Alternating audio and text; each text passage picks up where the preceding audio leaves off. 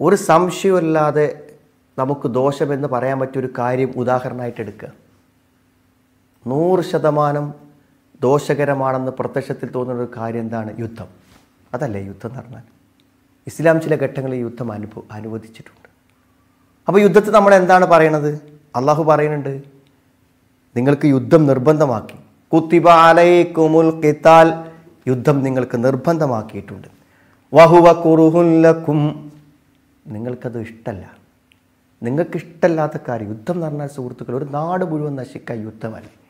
യുദ്ധം എന്തൊക്കെയാണ് ഉണ്ടാക്കുക? സാമ്പത്തിക പ്രതിസന്ധികൾ ജീവനഷ്ടം നിർഭയ ഭയം എന്തൊക്കെ ഉണ്ടാക്കും? അത് നിങ്ങൾക്കിഷ്ടമല്ല പക്ഷേ ആ യുദ്ധം നിങ്ങൾക്ക് നിർബന്ധമാക്കപ്പെട്ടു.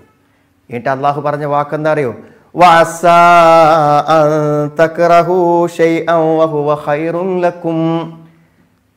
ആ നിങ്ങൾക്ക് വെറുപ്പുള്ള ചില കാര്യങ്ങൾ നിങ്ങൾക്ക് ഹയറായിരിക്കും അല്ലേ? കോവിഡ് ബാധിച്ച ഒരാൾ മരിച്ചു. അയാൾ രക്തസാക്ഷിയാണ്. നമ്മളിപ്പോൾ ഈ കാലഘട്ടത്തിൽ ജീവിച്ച ഏറ്റവും വലിയ ഹതഭാഗ്യം എന്നാണ് വിലയിരുത്തുന്നത് അല്ല? അതല്ലേ വിലയിരുത്തുന്ന സുഹൃത്തുക്കളെ? ജീവിതത്തിൽ എന്താണ് അങ്ങനെ അല്ലാത്തത് നാം എന്തിനെക്കുറിച്ചെല്ലാം പ്രതികൂലമായി ചിന്തിക്കുന്നു അത് മുഴുവൻ നമുക്ക് അനുകൂലമായ കാര്യമാണ്. അല്ലേ? ഒരു അംഗവൈകല്യം. നാളെ ഹൈറല്ലേ സുഹൃത്തുക്കളെ? അതൊരു ഗുണമാണ് ഉണ്ടാവുന്നത് ഒരു വൈധവ്യം. വിധവയായി ജീവിക്കുക. നമ്മുടെ മരണം വരെ നമ്മുടെ ജീവിതത്തിൽ ഇഷ്ടപ്പെട്ട ഒരാളുടെ തിരോധാനത്തെ മരണത്തെക്കുറിച്ച് ദുഃഖിച്ച് കഴിഞ്ഞുകൂടാ? മറക്കാൻ പറ്റണില്ല. അങ്ങനത്തെ ഒരു മരണം നമ്മുടെ ജീവിതത്തിൽ. ഒരു സൊഫി പ്രിയപ്പെട്ട ഒരാൾ പിടിക്കപ്പെട്ടു. സ്വർഗാണ് വിശ്വാസത്തിന്റെ നിലയിൽ വിലയിരുത്തുമ്പോഴാണ്. ഇപ്പോൾ യുദ്ധത്തിന് എന്തൊക്കെ ഗുണങ്ങളുണ്ട്? കണ്ടവനൊക്കെ പിടിച്ച അങ്ങാടി നിന്ന് കൈകാര്യം ചെയ്തിരുന്ന അവസ്ഥക്ക് ബദർ മാറ്റമുണ്ടാക്കി. ബദർ യുദ്ധം മാറ്റമുണ്ടാക്കി. സുഹൃത്തുക്കളെ യുദ്ധം സമാധാനത്തിന് വേണ്ടിയാണ്. സമാധാനത്തിന് വേണ്ടിയല്ലാത്ത യുദ്ധം അക്രമമാണ് യുദ്ധങ്ങൾ സമാധാനത്തിന് വേണ്ടിയാണ്. ആയുധ സജ്ജീകരണങ്ങൾ സമാധാനത്തിന് വേണ്ടിയാണ്. യുദ്ധം നശീകരണത്തിന് വേണ്ടിയുള്ളതല്ല. ധാരാളം ഗുണങ്ങൾ അതിനുണ്ട്. ചിലപ്പോൾ നിരന്തരമായി ഉണ്ടാകുന്ന പ്രതിസന്ധികൾക്ക് ഒരു സമാപനമായിരിക്കും ഒരു യുദ്ധം എന്നത്. എന്നിട്ട് അടുത്ത വാക്കെന്താണ് അടുത്ത വാക്കെന്താണ് അള്ളാഹു പറയുന്നത്?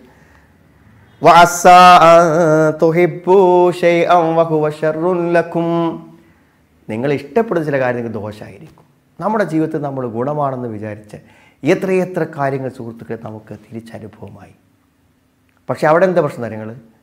നമ്മൾ പ്രത്യക്ഷമായി ദോഷമെന്ന് വിചാരിക്കുന്ന ഒരു കാര്യം വരുന്നതിന് മുമ്പ് തന്നെ അതിനെക്കുറിച്ച് നമ്മൾ എന്ത് ചെയ്യും? ആശങ്കപ്പെട്ടുകൊണ്ടിരിക്കും.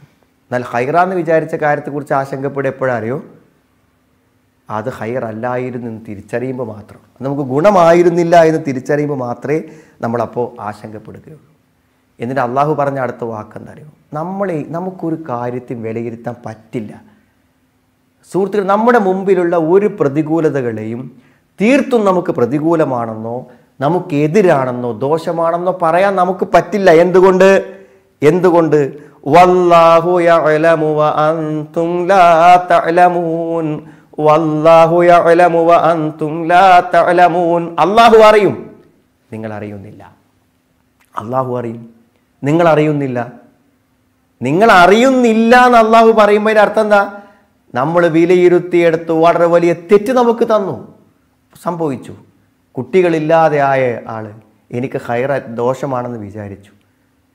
ദോഷമാണോ ഇല്ല എന്ന് കുട്ടികളെ തരാതിരുന്ന അള്ളാഹുവിനാണ് അറിയുക.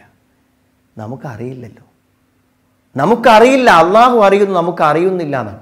അതുകൊണ്ട് അള്ളാഹുവാണ് അറിയുന്നവൻ. അതുകൊണ്ട് നമുക്ക് എന്തേ പറ്റുള്ളൂ? ഉപസരിങ്ങൾ പറഞ്ഞു അല്ല നമ്മളെ കൊണ്ടുപോകുന്ന ഒരു വഴിക്ക് ഇങ്ങനെ പോവുക. എങ്ങനെ പട ഞാൻ ഇവിടെ എത്തിയത്? നമ്മൾ അതിൽ ആശങ്കപ്പെടേണ്ട കാര്യമില്ല. ഇവിടെ എത്തിയത് അല്ല കൊടുന്നാണ്. ഇനി ഇവിടുന്ന് അങ്ങോട്ട് പോവാനുള്ളതും ആരെന്റെയാണ് അള്ളാഹു എന്നെ കൊണ്ടുപോകും എന്ന് വിചാരിക്കാൻ നമുക്ക് പറ്റണം. സുഹൃത്തുക്കൾ അങ്ങനെ നമ്മുടെ മനസ്സിലൊരു ധൈര്യം കൊടുക്കുമ്പോൾ എന്ത് വിഷമവും പ്രതികൂലത ഉണ്ടെങ്കിലും അതിലൊക്കെ എനിക്ക് ഗുണകരമായ പര്യവസാനങ്ങൾ ഉണ്ടാകും. അള്ളാഹുവിന്റെ തീരുമാനം പുലരാതെ എനിക്ക് അറിയില്ലല്ലോ എന്ന ശുഭപ്രതീക്ഷയോടുകൂടെ നിൽക്കുക. അപ്പോൾ ക്ഷമ കിട്ടും. അപ്പോൾ നമുക്ക് ക്ഷമിക്കാനും സഹിക്കാനും നമുക്ക് പറ്റുന്നതാണ്. അതുകൊണ്ടാണ് വിശ്വാസികളും പ്രവാചകന്മാരുമായ ആളുകൾ എന്ത് ചെയ്തുതരങ്ങൾ അള്ളാഹു നിന്ന് പ്രതികൂലമായ കാര്യങ്ങൾ അനുഭവപ്പെടുമ്പോൾ അവർ അള്ളാഹുവിന്റെ കാരുണ്യത്തെക്കുറിച്ച് കൂടുതൽ ഓർക്കുകയാണ് ചെയ്യുക. നമ്മളെന്തെങ്കിലും ഇല്ല സാമ്പത്തിക അവസ്ഥക്ക് ചെറിയൊരു കുറവ് വന്നു കുറച്ച് കുറച്ച് രോഗങ്ങളിലും ബുദ്ധിമുട്ടുകളിലേക്ക് നീങ്ങുമ്പോൾ നമ്മളെന്താണ്? അള്ളാഹുവിന്റെ കാരുണ്യത്തെക്കുറിച്ച് നിരാശപ്പെടല്ലേ ചെയ്യുക? എന്നാൽ അവരൊക്കെ അള്ളാഹുവിന്റെ കാരണത്തെക്കുറിച്ച് അവർക്കൊക്കെ പ്രതീക്ഷ വർദ്ധിക്കുക ചെറിയൊരു ഇഷ്യൂ ഉണ്ടായി. എവിടെ അറിയോ? മൂസാ നബി അലൈഹി സ്വലാം തൗറാത്ത് വാങ്ങാൻ വേണ്ടി പോയി തിരിച്ചു വന്നപ്പോഴേക്കും ഹാറൂൺ നബി അലൈഹി ഇസ്ലാം എന്ത് ചെയ്തു വെച്ചാൽ പിന്നെ അവിടെ താളുകൾ പശുക്കുട്ടി ഉണ്ടാക്കി ആരാധിച്ചു. അപ്പോൾ അത് നേരിടുന്ന കാര്യത്തിൽ ശരിയായ ഒരു നിഷ്ഠ പുലർത്തിയില്ലേ എന്നൊരു സംശയത്തിന്റെ പേരിൽ കുറച്ച് ദേഷ്യത്തിലാണ് എന്ത് ചെയ്തത് മൂസാ നബി അലൈഹി സ്വലാം ഹാറൂൺ നബി അലൈഹി സ്വലാം പെരുമാറിയത്. അങ്ങനെ ആ സംഭവത്തിനു ശേഷം ആ സംഭവത്തിന് ശേഷം ഒരു ഖേദപ്രകടനം എന്നോണം മൂസാ നബി അലി ഇസ്ലാം പറഞ്ഞ വാക്കുണ്ട് ഖുറാനിൽ കാല റബ്ബി വലി അഹേ അള്ളാഹുവെ എനിക്കും എന്റെ സഹോദരനും നീ പുറത്തു തരണം. നിന്റെ കാരുണ്യത്തിൽ ഞങ്ങളെ നീ പ്രവേശിപ്പിക്കുകയും ചെയ്യണമേ പടച്ചോനെ. എന്നിട്ടോ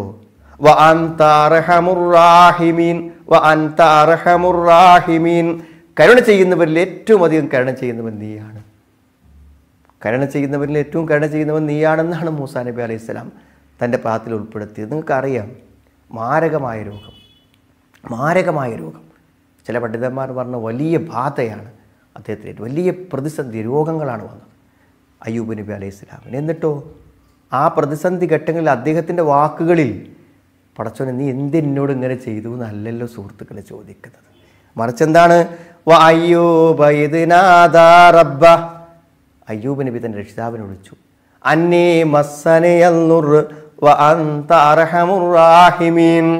എനിക്ക് ബുദ്ധിമുട്ട് ബാധിച്ചു റബ്ബേ.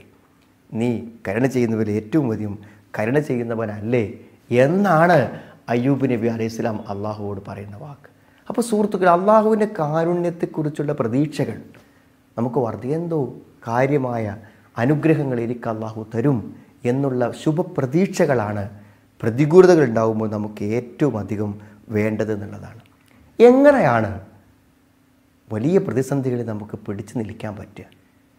അവിടെയാണ് സുഹൃത്തുക്കളെ പ്രതീക്ഷകൾക്കുള്ള സ്ഥാനം. ഞാൻ തുടക്കത്തിൽ പറഞ്ഞല്ലോ തനിക്കൊരു കുഞ്ഞുണ്ടാകുന്നു എന്ന പ്രതീക്ഷ ആ പ്രതീക്ഷ ജീവിതത്തിലേക്ക് തന്നെ തിരിച്ചു വരാൻ ഒരു പ്രതീക്ഷയുടെ ചെറിയൊരു തീപ്പൊരി ഒരു ചെറിയ തീനാളം അത് ഒരു ജീവിതത്തെ തന്നെ തിരിച്ചു കൊണ്ടുവരുന്ന നമ്മൾ കാണും. അപ്പോൾ പ്രതീക്ഷയാണ് ഏറ്റവും പ്രധാനം. നമ്മൾ അള്ളാഹുവിന്റെ വാഗ്ദത്തങ്ങളിൽ പ്രതീക്ഷിക്കണം. അള്ളാഹു പരിഹരിക്കുമെന്നുള്ള ശുഭ പ്രതീക്ഷ നമ്മുടെ മുന്നിൽ ഉണ്ടാവുക അതാണ് നേരത്തെ പറഞ്ഞതിലും നമ്മൾ കണ്ടു.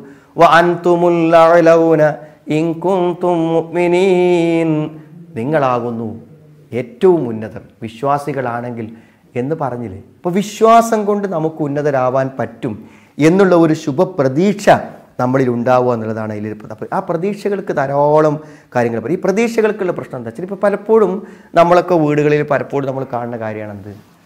നല്ല കരുത്തുള്ള ഇരുപത്തെട്ടും മുപ്പതും ഒക്കെ വയസ്സായിട്ടുള്ള നല്ല യുവാക്കൾ. ഈ യുവാക്കളൊക്കെ എന്താ പറയുക വെറുതെ വീട്ടിൽ വാതിലടച്ചിരിക്കുക ഒരു കാര്യത്തിനും പോവാതിരിക്കുക. എന്താണ് സുഹൃത്തുക്കളെ ഈ നിഷ്ക്രിയത്വത്തിന് പിന്നിലുള്ളത്? എല്ലാവരും ചോദിക്കലുണ്ട്. ആ ആ കുട്ടികളുടെയൊക്കെ മാതാപിതാക്കളുടെ അവസ്ഥകൾ ആലോചിച്ച് നോക്കും നിങ്ങൾ. എത്രയൊക്കെയോ പ്രതീക്ഷയുള്ള കാര്യത്തിൽ ജീവിതത്തിന്റെ ഏറ്റവും ആരോഗ്യമുള്ള അവസ്ഥയിൽ വെറുതെ ഒരു റൂമിൽ വാതിലടച്ചിങ്ങനെ ഇരിക്കുക മൊബൈൽ നോക്കിയിരിക്കുക ബ്ലാങ്കറ്റ് പോച്ചിങ്ങനെ കിടക്കുക. ഇതിന്റെ കാരണം എന്താ നിങ്ങൾ? ജീവിതത്തിലെ പ്രതീക്ഷകൾ നഷ്ടപ്പെട്ടു കുറേ ജോലിക്ക് ശ്രമിക്കും നടക്കൂല. കുറേ കോഴ്സുകൾക്ക് പഠിക്കും എവിടെ എത്തൂല. ഇങ്ങനെ വരുമ്പോൾ ഉണ്ടാവുന്ന ഒരു നിരാശ ഉണ്ടല്ലോ. ഈ നിരാശക്കുള്ള പ്രത്യേകത പിന്നെ ഇന്ന റജ പ്രതീക്ഷ എന്ന് പറഞ്ഞാൽ എന്ത് ചെയ്യും? യൂജിബുൽ അബുദി അസയോലിജ്തിഹ അതായത് ഭയങ്കരമായ ത്യാഗവും പരിശ്രമവും നടത്തുവാനുള്ള അവസ്ഥ നൽകുമെന്റെ പ്രതീക്ഷ. ആ പ്രതീക്ഷകളില്ല നമ്മളിപ്പോൾ ഒരു ആക്സിഡന്റ് സംഭവിക്കുകയാണ് അപ്പോൾ ആക്സിഡന്റ് സംഭവിക്കുന്ന സമയത്ത് ഡ്രൈവർക്ക് തോന്നുകയാണെന്ന് ഞാൻ ഒന്നും കൊണ്ട് ശ്രമിച്ചാൽ ആ മരത്തിനോട് ഇടിച്ചിട്ടോ ആ മതിലിനോട് ഇടിച്ചിട്ടോ തൽക്കാലം ഈ വണ്ടി നശിച്ചാലും ഈ ആൾക്കാരെ ജീവൻ രക്ഷപ്പെടുത്താൻ കഴിയും എന്ന ആ ഒരു ഒരു ഒരു സന്നിഗ്ധ ഘട്ടത്തിൽ അയാൾ മനസ്സിലേക്ക് വന്നാൽ അയാൾ എന്ത് ചെയ്യും? വീണ്ടും ക്ലച്ചും ബ്രേക്കും ഒക്കെ നോക്കിയിട്ട് അയാൾ എങ്ങനെയെങ്കിലുമൊക്കെ ആ വണ്ടിയെ എത്തിക്കാൻ ശ്രമിക്കും. എന്നാൽ ആക്സിഡന്റിന്റെ സ്റ്റാർട്ടിങ്ങിൽ തന്നെ ഇനി കിടന്നൊടുക്കല്ലാതെ വേറെ രക്ഷയില്ലാതെ അയാൾക്ക് തോന്നിയാലോ? മൊത്തം ആളുകൾ അതോടുകൂടെ തീരും. അതല്ലേ അതിന്റെ അതൊരു വല്ലാത്തൊരു സംഗതിയല്ലേ? എന്തെങ്കിലും ഒന്ന് ചെയ്യാൻ തോന്നണമെങ്കിൽ പ്രതീക്ഷ വേണം. പ്രതീക്ഷ ഇല്ലെങ്കിൽ ഒന്നും നടക്കില്ല. അപ്പം പല ആളുകളും മനസ്സ് നിരാശപ്പെട്ട് തടന്നു പോകുന്നത് എന്തുകൊണ്ടാണ് നിങ്ങൾ? ചില നിരന്തര പരിശ്രമങ്ങൾ പരാജയപ്പെട്ടു പോകുമ്പോഴാണ്. അവിടെ ജോലിക്ക് ചേർന്നു ശരിയായില്ല. ഇവിടെ ഒരു കോഴ്സിന് ചേർന്നു ശരിയായില്ല. അവിടെ വിവാഹം കഴിച്ചു അത് ഡൈവേഴ്സായി അങ്ങനെ അങ്ങനെ അങ്ങനെ നിരന്തര പ്രശ്നങ്ങൾ വരുമ്പോൾ എന്താ വെച്ചാൽ ഇനി ഒരു രക്ഷയില്ല എന്നിട്ട് തളർന്നു പോകും. എന്നാൽ സുഹൃത്തുക്കളുടെ നിരാശയോ? അത്തസാഖുലു വത്തബാത്തു. എന്താ ഇങ്ങനെ അട ഒതുങ്ങി തൂങ്ങി ഭാരമായി ഇരിക്കാനാണ് തോന്നുന്നത്. അതേപോലെ ഒന്നിക്കും രാവിലെ നീക്കണമെങ്കിൽ തന്നെ പത്ത് മണിയാവും. കാരണം എന്താ ജീവിതത്തിൽ ഒന്നും ചെയ്യാനില്ല. അങ്ങനത്തെ ഒരു അവസ്ഥ അപ്പോൾ എന്താ പ്രതീക്ഷകളാണ്. എങ്ങനെ പ്രതീക്ഷ ഉണ്ടാകുക സുഹൃത്തുക്കളെ? എങ്ങനെ പ്രതീക്ഷ ഉണ്ടാകുക അള്ളാഹു നമുക്ക് തന്ന വാഗ്ദത്തങ്ങളിൽ നമ്മൾ പ്രതീക്ഷിക്കണം. അപ്പോൾ നമുക്ക് ഭയങ്കരമായ ഒരു സത്യവിശ്വാസിയെ സംബന്ധിച്ചിടത്തോളം ഉണ്ടാകുന്ന ഒരു വിചാരമാണത്. എന്താണത്? ഇന്നല്ലാഹത്ത ആല യുഫരി കുർബഹു. അവന്റെ എന്ത് ബുദ്ധിമുട്ടുകളെയും അള്ളാഹു ശരിയാക്കി കൊടുക്കും. അള്ളാഹിനത്തിന് പരിഹാരമുണ്ട്. ഏതെങ്കിലും വഴിക്ക് അള്ളാഹു എന്റെ കാര്യങ്ങളെ ശരിയാക്കി തരുമെന്നുള്ളൊരവസ്ഥയാണ് നോക്കൂ നിങ്ങൾ. എന്തെങ്കിലും എനിക്കൊരു നല്ല അവസ്ഥ വരും എന്ന ഒരു ഉറച്ച ബോധം മനസ്സിലുണ്ടെങ്കിൽ നമ്മൾ കാലദൈർഘ്യമോ പ്രതികൂലതയുടെ തീവ്രതയോ രോഗത്തിന്റെ വേദനയോ ഒന്നും നമ്മളെ നിരാശപ്പെടുത്തില്ല അതിനുദാഹരണമാണ് രണ്ടാമത്തെ മകനും നഷ്ടപ്പെട്ട വിവരം കിട്ടിയപ്പോൾ യാക്കൂബ് നബി അലൈഹിസ്സലാം എന്താണ് മക്കളോട് പറഞ്ഞത്? യാ ബനിയദ്ഹബൂ യൂസുഫ വ അഖീഹി. ഏ പൊന്നു മക്കളെ നിങ്ങൾ ചെല്ലി നിങ്ങൾ പോയി എന്നിട്ട് യൂസുഫിനെയും സഹോദരനെയും അന്വേഷിക്കും. ഏതാ യൂസുഫ്? വർഷങ്ങൾക്ക് മുമ്പ് നഷ്ടപ്പെട്ടു പോയ ആ യൂസുഫിനെ അന്വേഷിക്കും. ഇപ്പം നഷ്ടപ്പെട്ടു പോയ സഹോദരനെയും നിങ്ങൾ അന്വേഷിക്കൂ. എന്നിട്ട് യാക്കൂബ് നബീസ മക്കൾ കൊടുക്കുന്നൊരു കാര്യം എന്താ അറിയോ? യൂസുഫ് എത്ര വർഷം മുമ്പ് നഷ്ടപ്പെട്ടു പോയ ആളാണെങ്കിലും. ഇനി ഞങ്ങൾക്ക് പ്രതീക്ഷയില്ലെന്ന് നിങ്ങൾ പറയരുത്. അള്ളാഹു തരുന്ന ആശ്വാസത്തെക്കുറിച്ച് നിരാശപ്പെടരുത്. ആർക്കാ അതിന് പറ്റുക? ജീവിതത്തിൽ ഒരാഗ്രഹം വർഷങ്ങളും മാസങ്ങളും നീണ്ട കാത്തിരിപ്പിലും സാക്ഷാത്കരിക്കാതെ വരുമ്പോൾ സുഹൃത്തുക്കളെ നിരാശപ്പെട്ടു പോകൂലേ? പക്ഷെ നിരാശ എന്നുള്ള ഒന്നുണ്ടാകണ എപ്പോഴാണ്? അള്ളാഹുവിനും എന്റെ പ്രശ്നം പരിഹരിക്കാൻ പറ്റില്ലെന്നാണ് നിരാശപ്പെടുന്നവന്റെ ആശയം. അങ്ങനെ ഒന്നുണ്ടാവും. അള്ളാഹുവിന് പരിഹരിക്കാൻ പറ്റാത്തൊരു കാര്യം ഉണ്ടാവും അതുകൊണ്ട് ഒരു വിഷയത്തിലും എത്ര തന്നെ പ്രതികൂലത ഉണ്ടായാലും പറ്റില്ലെന്ന് പറയുന്നൊരവസ്ഥ ഉണ്ടാവരുത്. ഒരു സുഹൃത്ത് എനിക്ക് വോയിസ് ആയിട്ട് കഴിഞ്ഞ ഒരു സംശയം ചോദിച്ചു. എന്താ പറയുക? അയാൾ കുട്ടികൾ ഉണ്ടാവണില്ല ആ പരിശോധന നടത്തിയപ്പോൾ എന്താ വെച്ചാൽ കൗണ്ട് സീറോ ആണ്. കൗണ്ട് സീറോ അപൂർവമായിട്ടാണ് കാര്യം. കാരണം ഇതിൽ കൗണ്ടേ ഇല്ല. അയാളെ സെവനിൽ അപ്പോൾ എന്തായിരിക്കും ആ അവസ്ഥ? അപ്പോൾ അദ്ദേഹത്തിനൊരു സംശയം എന്താ വെച്ചാൽ ഇനിയിപ്പോൾ ഞാൻ പ്രാർത്ഥിക്കുന്നതിൽ അർത്ഥമുണ്ടോ എന്നാണ്. ഇനിയിപ്പോൾ ഞാൻ പ്രാർത്ഥിക്കുന്ന അർത്ഥമുണ്ടോ? അദ്ദേഹത്തിന് ന്യായമായ സംശയമാണ്. അദ്ദേഹത്തിന്റെ വിശ്വാസത്തിന് ദുർബലത കൊണ്ടല്ല. മറിച്ച് എന്താണെന്ന് വെച്ചാൽ ചോദിക്കാൻ കാരണം എന്തെങ്കിലും നമ്മളൊരു കാര്യം നമ്മളുടെ ഒരു കാരണത്തെ ഉണ്ടാക്കിയിട്ടല്ലേ നമ്മൾ ചോദിക്കേണ്ടതെന്നാണ് അങ്ങനെയല്ല സുഹൃത്തുക്കളെ? നമുക്ക് ചെയ്യാവുന്ന വശം ഉണ്ടെങ്കിൽ ചെയ്യണം എന്നുള്ളൂ നമുക്ക് എന്തെങ്കിലും ഒരു ചെയ്യാണ്ടോ അതാണ് ഇപ്പോൾ ചികിത്സക്ക് പോയി നോക്കിയില്ലേ? മെഡിസിൻ കഴിച്ചു നോക്കിയില്ലേ? അതല്ലേ ചെയ്യാനുള്ളൂ. നമുക്ക് ചെയ്യാനുള്ള വശങ്ങൾ നമ്മൾ ചെയ്തിട്ട് നമ്മൾ അള്ളാഹ്. അപ്പോൾ ഇവിടെ അങ്ങനെ ഒരു വന്ധ്യത ഉള്ള ഒരാൾ പിന്നെ പ്രാർത്ഥിക്കണ്ട എന്നാണോ? അങ്ങനെയാണെങ്കിൽ സുഹൃത്തുക്കളെ ഇബ്രാഹിം നബി അലൈഹി സ്വലാം പ്രാർത്ഥിച്ചത്. സക്കരിയ നബി അലൈഹി സ്വലാം പ്രാർത്ഥിച്ചത്.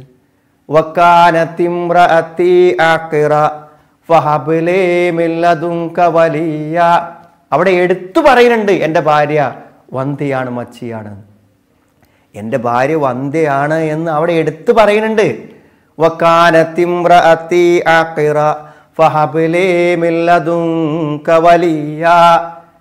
എനിക്കൊരു എന്റെ ഭാര്യ മച്ചിയാണ് വന്ധ്യയാണ്. പക്ഷേ എനിക്കൊരു അനന്തരാവകാശിയെ തരണം പടച്ചോനെ എന്ന് ചോദിക്കുന്നത്. അപ്പോൾ സുഹൃത്തുക്കളെ വന്ധ്യത അതിന് അള്ളാഹുവിന്റെ അടുക്കൽ ഒരു പരിഹാരമുണ്ടാവും എന്നുള്ളതാണ്. എന്നോ കിണറ്റിലെറിയപ്പെട്ടു പോയ മകൻ തിരിച്ചു വരുമെന്നാണ്. മരിച്ചിട്ടില്ലല്ലോ. അതുകൊണ്ട് തിരിച്ചു വരാം. മരിച്ചു എന്നൊരു വിവരം കിട്ടിയിട്ടില്ലല്ലോ. അതുകൊണ്ട് തിരിച്ചു വരും എന്ന പ്രതീക്ഷ. അപ്പോൾ സഹോദര എന്റെ ഈ ശബ്ദം കേൾക്കുന്ന നമ്മൾക്ക് എന്ത് പ്രശ്നമാണുള്ളത്? അതിനൊരു പരിഹാരമുണ്ടാകും. അതിനൊരു പരിഹാരമുണ്ടാകും എന്ന് നിങ്ങളുടെ മനസ്സിനോട് നിങ്ങൾക്ക് ഉറപ്പിച്ച് പറയാൻ പറ്റുമോ? എങ്കിൽ അതാണ് മനസ്സ് തളരാതിരിക്കുവാനുള്ള ഏറ്റവും വലിയ ആയുധം അതാകുന്നു എന്നാണ്. വിശുദ്ധ ഖുർആൻ പറയുന്നത് നിങ്ങൾ ഈ ശത്രുക്കൾ ഇങ്ങനെ ശക്തി പ്രാപിച്ചു വരികയാണ്. ഫാസിസം വളർന്നു വരികയാണ്. എല്ലാ രംഗത്തും എന്താണ് ന്യൂനപക്ഷങ്ങളെ അല്ലെങ്കിൽ പ്രത്യേകിച്ച് മുസ്ലിങ്ങളെ നശിപ്പിക്കുവാൻ വംശഹത്യ ചെയ്യാൻ ഓരോ പുതിയ കുതന്ത്രങ്ങൾ ആസൂത്രണം ചെയ്തുകൊണ്ടിരിക്കുകയാണ്. ഈ ന്യൂസൊക്കെ അങ്ങനെ കേൾക്കുമ്പോൾ ഇനിയിപ്പോൾ എന്തായാലും ആലോചിച്ചിട്ട് കാര്യമില്ല. അതല്ലേ എല്ലാവരും പറയണത്? ഇനി കാര്യം അങ്ങനെ പറഞ്ഞ് കേട്ടില്ല നമ്മൾ? വിശ്വാസികളായ ആളുകൾ തന്നെ അങ്ങനെ പറയുന്നത് കേട്ടിട്ടില്ലേ? എന്നാൽ സുഹൃത്തുക്കളെ ശത്രുവിനെക്കുറിച്ച് പറഞ്ഞപ്പോൾ അള്ളാഹു പറഞ്ഞൊരു കാര്യമുണ്ട്. ആദർശത്തിന്റെയും മുസ്ലിം വംശത്തിന്റെയും ശത്രുക്കളുടെ വിജയങ്ങൾ കാണുമ്പോൾ ശക്തി കാണുമ്പോൾ അവിടെ ഭരണ സ്വാധീനങ്ങൾ കാണുമ്പോൾ ശത്രുവിനെ കുറിച്ച് അള്ളാഹു എന്താ പറഞ്ഞത്? ഇൻ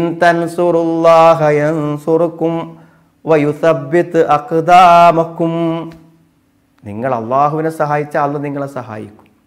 നിങ്ങളുടെ പാദങ്ങളെ അവൻ ഉറപ്പിച്ചു നിർത്തും. അപ്പോൾ നമുക്ക് മാത്രം ബാധകമല്ല ഈ ആയത്ത്. നമുക്ക് മാത്രം ബാധകമല്ല ഈ ആയത്ത്.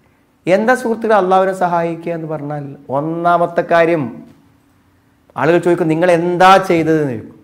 ഇന്ത്യൻ മുസ്ലിങ്ങളുടെ അധസ്ഥിതാവസ്ഥ പരിഹരിക്കാൻ നിങ്ങൾ എന്ത് ചെയ്തു? ഒന്നാമത്തെ കാര്യം എന്താണ്? അള്ളാഹിനെ സഹായിക്കലാണ് നമ്മൾ ചെയ്യേണ്ടത്. ഒന്നാമത്തെ കാര്യം എന്താണ് സുഹൃത്തുക്കളെ? എന്താണ് ഒന്നാമത്തെ കാര്യം? ബിൽ ഖിയാമി ബിദീനിഹി. അള്ളാഹുവിന്റെ ദീനനുസരിച്ച് ജീവിക്കുക അതുകൊണ്ട് ഓരോ മുസ്ലിമും ഓരോ മുസ്ലിമും ആത്മപരിശോധന നടത്തേണ്ട ഒരു കാര്യമാണ് ഞാൻ അള്ളാഹുവിന്റെ ദീനിനെ ശരിയായി നിർവഹിക്കുന്നുണ്ടോ? നമ്മുടെ ദീനിന് നേരെ വാളോങ്ങുമ്പോൾ അതിനെ നശിപ്പിക്കുവാൻ ഗൂഢമായ ശ്രമങ്ങൾ നടക്കുമ്പോൾ ഒരു മുസ്ലിം ആദ്യം നോക്കുന്നത് ഞാൻ അള്ളാഹുവിനെ സഹായിക്കുന്നുണ്ടോ? അള്ളാഹുവിന്റെ ദീനിന് അള്ളാഹു പറഞ്ഞൊരു ഗൗരവം ജീവിതത്തിൽ നൽകാൻ എനിക്ക് പറ്റുമെന്ന് രണ്ടാമത്തേതോ വദ്ദഅവത്തു ഇലല്ലാ അള്ളാഹുവിലേക്കുള്ള പ്രബോധനം. അള്ളാഹുവിലേക്കുള്ള പ്രബോധനം അല്ലേ? പള്ളി പൊളിക്കാൻ വേണ്ടി പള്ളിയുടെ പിന്നെ മുകളിൽ കയറി ഏറ്റവും ആദ്യത്തെ കൊട്ടുകൊട്ടിയ ആൾ അദ്ദേഹം മുസ്ലിമായി എന്ന് മാത്രമല്ല ഇന്ത്യയിലുടനീളം അദ്ദേഹം പള്ളികളെ പുനർനിർമ്മിക്കാൻ നടത്തുകയാണ് അതാണ് ദാവത്ത് എന്ന് പറഞ്ഞത്. അതാണ് ദാവത്ത് എന്ന് പറഞ്ഞത്. പ്രവാചകന് നേരെ വാളോങ്ങിയവൻ പ്രവാചകനിലേക്ക് വരുന്ന വാളുകളെ തടുക്കാൻ പരിചയമായി ശരീരം കാണിച്ചു കൊടുത്ത് നിൽക്കുന്ന രംഗം ചരിത്രത്തിൽ നമ്മൾ കാണുന്നതാണ്. അപ്പോൾ വളരെ വലിയ പരിഹാരമാണ്. സുഹൃത്തുക്കളെ എന്താ സംശയമുള്ളത്? ഇസ്ലാമിന്റെ ഈ സുന്ദരമായ ആദർശങ്ങളെ ആശയങ്ങളെ ലോകത്ത് അതിവേഗത്തിൽ ആൾക്കാർ സ്വീകരിച്ചുകൊണ്ടിരിക്കുകയാണ്. അതിനേക്കാളും ശത്രുവിനെ തലവേദന സൃഷ്ടിക്കുന്ന വേറൊരു കാര്യമുണ്ടോ? പറയും. അതിനേക്കാളും ശത്രുവിന് തലവേദന സൃഷ്ടിക്കുന്ന വേറൊരു കാര്യമുണ്ടോ? അതിനെന്താ നമുക്ക് പ്രയാസം? ഇന്ന് സോഷ്യൽ മീഡിയകൾ അത്ര വ്യാപകമാണ്. ആരിലേക്ക് നമുക്ക് മെസ്സേജ് കൊടുക്കാം? ആർക്കും നമ്മുടെ സന്ദേശം എത്തിക്കാം. നോക്ക് നിങ്ങൾ ഈ മതിലിന് അപ്പുറത്തുണ്ടായ നമ്മുടെ അയൽവാസിയോട് ദീന്റെ കാര്യങ്ങളെക്കുറിച്ച് പറയാൻ നമുക്കൊരു ചെറിയ ചമ്മൽ. എങ്ങനെയപ്പോൾ അത് തുടങ്ങുക? അതെങ്ങനെ അവനോട് പറയാ പക്ഷേ നോക്ക് നിങ്ങൾ വാട്സപ്പിലേക്കൊരു ചെറിയ കുറിപ്പ് വിട്ട് ഒരു വോയിസ് വിട്ട് ഒന്ന് കേൾക്കൊണ്ടു എന്ന് പറയാൻ ഇന്നൊരു പ്രശ്നമല്ലല്ലോ. അയാൾ കേട്ടിട്ട് എന്തായിക്കോട്ടെ? എന്ത് പ്രതികരിച്ചോട്ടെ? നമുക്കൊരു പ്രശ്നമല്ല. അല്ലേ? ഇന്നതിന് പറ്റും. അതിർത്തികളില്ല. അപ്പോൾ അത് ഇൻ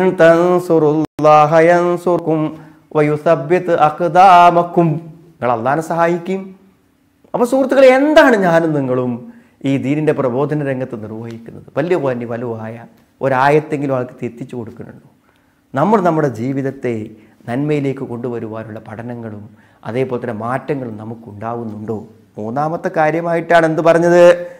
വജിഹാദു അള്ളാഹുവിന്റെ ശത്രുക്കളോട് ഏറ്റുമുട്ടേണ്ടി വരുന്ന ഘട്ടങ്ങളിൽ അതിന്റെ നിയമപരിധികൾക്ക് നിന്നുകൊണ്ട് നേതൃത്വം നിന്നുകൊണ്ട് ശരയായ അതിന്റെ അനുവാദം പരിശോധിച്ചുകൊണ്ട് എന്തു ചെയ്യുക?